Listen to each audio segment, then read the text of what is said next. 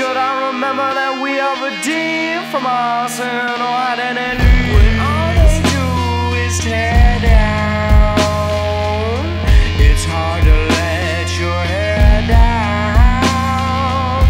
One day we all will wear gowns, but sorrow we bear now. How am I supposed to find peace when the spirits tear at me like the wicked beasts? Strong is meek and the